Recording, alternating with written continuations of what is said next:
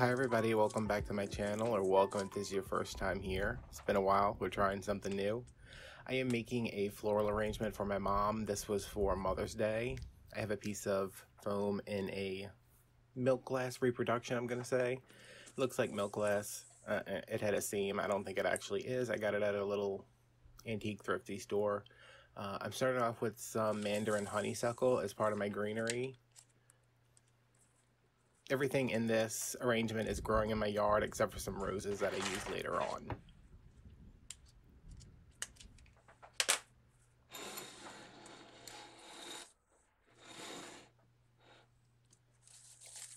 So I'm taking the mandarin honeysuckle and I'm just kind of trying to figure out my shape. I want it to be higher on the left and then it comes down on the right. Kind of one-sided, but um, I think it ended up being where you could look at it from any side and it was fine because I put so much stuff in it. So this mandarin honeysuckle is growing on a gate near my house. Um, it, it does not want to go away. I would sometimes like it to go away because it's filled with this weird weed that just takes it over and kills half of it. And oh, if I can use it for something other than just being all over the fence and getting filled with weeds, then I'm okay with it. You saw I was uh, massaging the stem a little bit there to get a little curve in it. You can't do that with everything, but sometimes, sometimes you can kind of uh, mold those stems into what you want them to be. So you can see it's starting to take shape with the higher side on the left, and then it's kind of coming down and around on the right. And I like this because it kind of looks like eucalyptus, maybe kinda.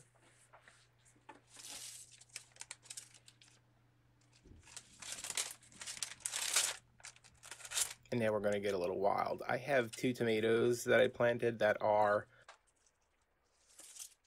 they're crazy. They're indeterminate, so they just keep growing. I have cut them back three times already, and it's not even the end of May. Uh, so I have a lot of pieces that I feel bad if they have flowers or fruit on them and I have to cut them back. So I stick them in water, they eventually root and I can plant them out.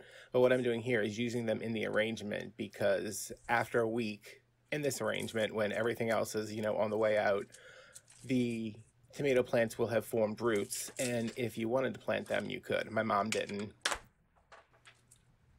But it's just, it's a nice different texture. Uh, it was free. It was going to go in the garbage. So I stuck it in here.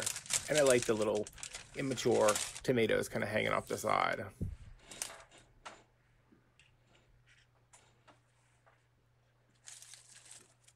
This is some star jasmine.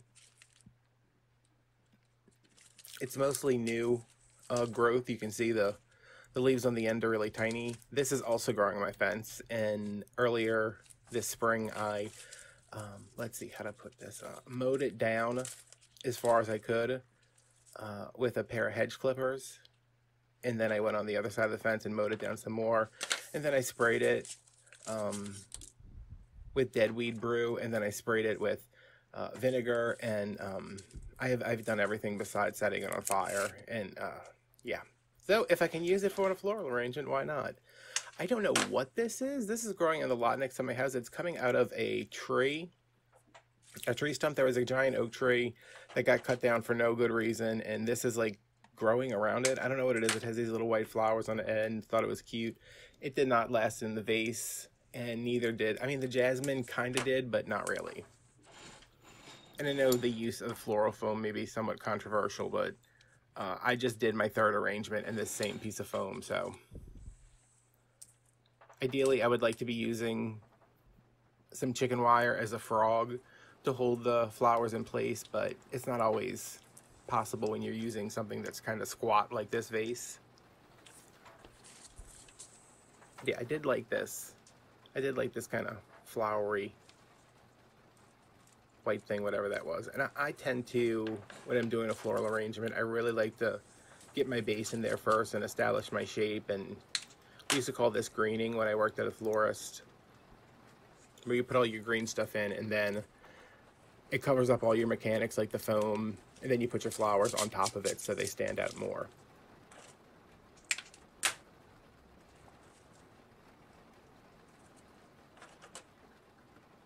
And if I'm doing an arrangement where I'm using chicken wire as a frog or an actual frog as a frog or tape as a grid, I'm not as concerned with covering every inch of the inside of the vase, I guess, where the foam is. When I'm using foam, I gotta cover that up. I can't be seeing that.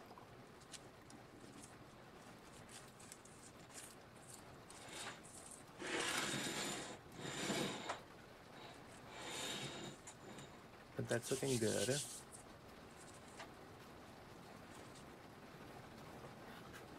This is Coleus. I have this planted all over my yard. Coleus is one of my favorite things to plant just because I, don't grow for the flowers. I just love the leaves. This one does have some flowers on it. And this is currently sitting on my windowsill. This piece of uh, Coleus sitting on my windowsill in a glass of water with roots ready to go back in the yard.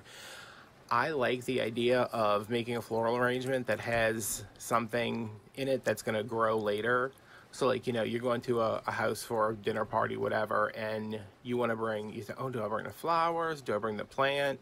This way you do both because the tomatoes and the coleus and, is that it? Yeah. Those are, those are going to form roots and you can plant them out later. This sunflower was a little old, so I plucked all the petals off and I'm just going to use it as a textural element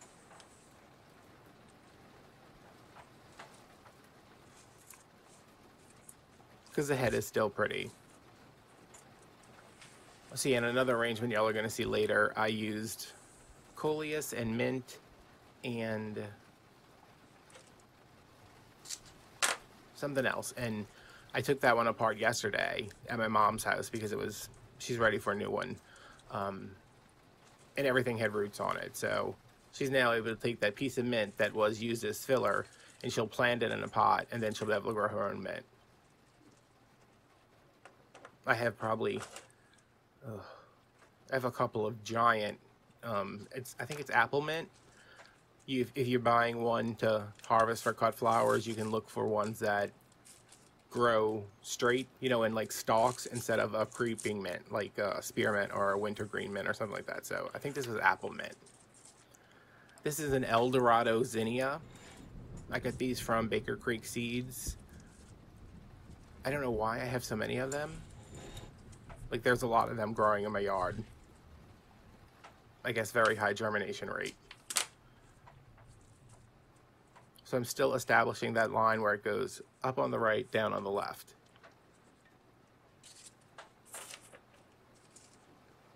This is an El Dorado again. I find zinnias kind of hard to work with. You have to harvest them when you can grab the bottom of the stem and wiggle it and the top doesn't flop back and forth all over the place because that top part of the stem right underneath the flower is hollow. So you want to get that as firm as you can, but there's like, I feel like there's a, um, a very small window between when you can harvest a flower and keep it in a vase for seven days and when you can harvest a flower and it's going to fall apart the next day. And these are hard to put in foam because that top part is hollow. So if you pinch that and try to squeeze it down, you're going to end up crimping the stem and killing the, killing the flower before it's ready, you know? before its time comes.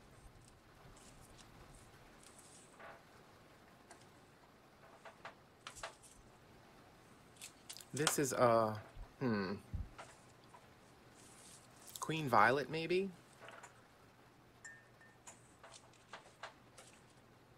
I have two big zinnia beds, and they are just full of the Eldorados and these purple ones. There's other ones planted in there. They these are these are the ones that just bloom first. I don't know if I planted them early, like su succession planting, but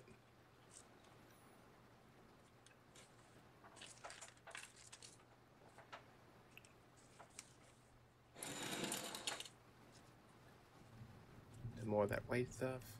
And this arrangement lasts about seven to nine days. the zinnias last for a very long time. The greenery is what usually goes first. But like yesterday I had, I was by my mom's and she had an arrangement that I made her, the one with the mint. And it was not looking great. Some of the zinnias had faded. Some of them looked fine. Some of them, you know, were on their way out. So I took it all apart, threw away all the stuff that was gone, and made her another smaller arrangement in a little smaller vase of the stuff that was left and the stuff that we were propagating so she could plant later. But yeah, this El Dorado is, it's kind of like a peachy orange. It's really pretty.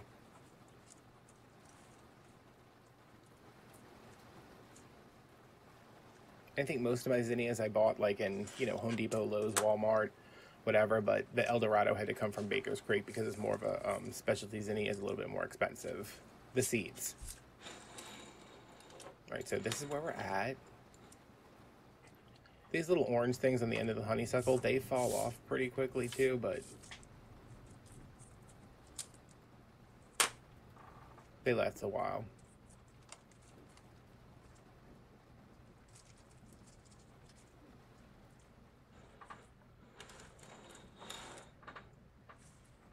I just noticed there's four purple zinnias forming a square in there, and I don't like that. All right, see the roots on there?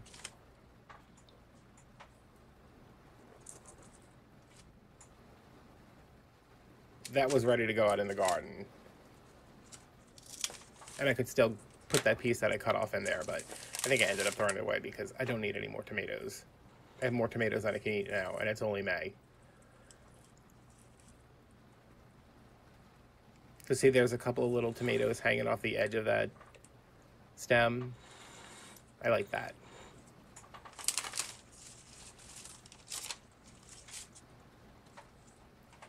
There you go. That's, that's the roots.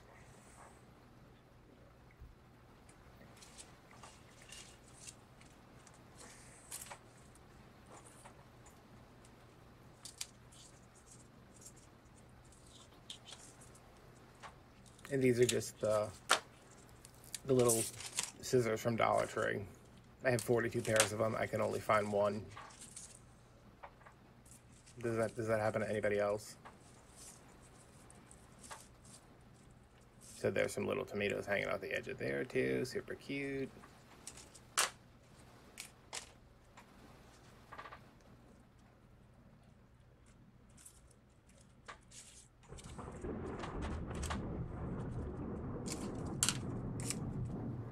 Just using the rest of this to kind of fill in on the back.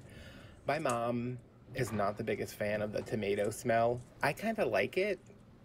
I mean, I like the texture the leaves give, and they last for a while. You know, they'll, they'll end up growing roots in the water, like I said. Um, but they do have that tomato plant smell. Not necessarily a tomato smell, a tomato plant smell.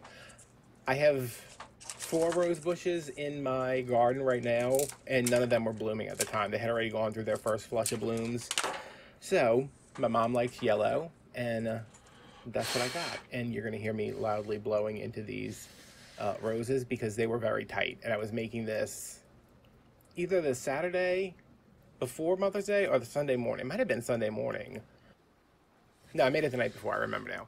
Um, I'm blowing these because they're they were very tight, which is how you want to buy roses when you're going to put them in a vase and let them open. But if you're putting them in an arrangement, and I'm going to give this to my mom, I don't want to give her an arrangement that has a bunch of really tight roses in it when they're supposed to be, you know, pretty open up.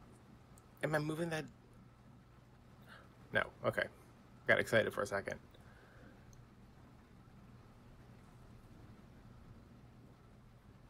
And I did buy these, obviously. I have a really, really light pink the roses that I planted this year, I bought them based on the pictures, and I was like, oh, that one's so pretty, that one's so pretty. Neither one of them came up the color they were supposed to be. I mean, they're close, but one of them is supposed to be like a silvery lavender, um, like a like like a mid-tone, purpley, light purple lavender, silver color, and it's just like pastel purple. And then one of them was supposed to be a yellow and a, a, buttery yellow and like a coral pink color, and it is just straight up like ballet pink. But they're pretty, and you know they're they're climbing along my fence right now, and I assume in the next couple months they'll kind of take it over, and then I won't have to look at the neighbor's yard anymore, which would be fantastic. So these are just kind of, I mean, they're roses, but I'm kind of using them as filler because I have the most of them. This was still pretty early. I mean, it was the beginning of May, so I didn't have a, a ton to choose from in my garden. You know, the, I mean, I, I picked everything because I sent this to my sister and she wanted me to make another one for her girlfriend. And I was just like, hey, I picked everything. Like, everything that I could pick is in here. But, like, right now, since it's the end of May, it's a lot hotter. The days are longer and warmer. Um, I can probably get an arrangement every two days out of my garden. But I'm having a problem with, like, okay, I have a rose, and the rose is good, and the zinnias are good, and I can get coleus, but I have a, you know, I'll have like, I have a dahlia that's almost open, and I really want to cut it, but it needs like another day. But I also have gladiolus that opened two days ago, and I need to use them before they open up too much, and then I can't use them at all. So I'm having a problem with everything being ready at the same time. But I think it, it just makes me stretch creatively to figure out how to use everything together. At some point, did I move a zinnia? Oh, it's kind of bent down now. I see it. And I'm bending it back up. Fantastic. See how that one's kind of wobbly? I think I pinched the, yeah, I pinched the stem on that one. That's probably the first, the first one that came out, you know, after a couple of days.